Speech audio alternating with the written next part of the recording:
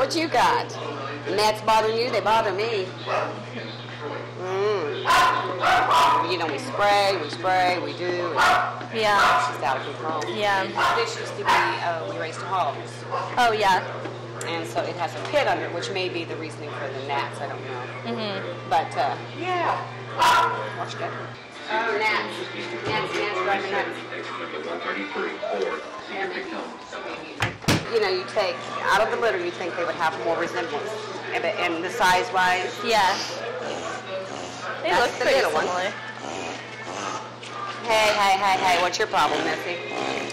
See, we do a lot of the crossbreed, the Peagles.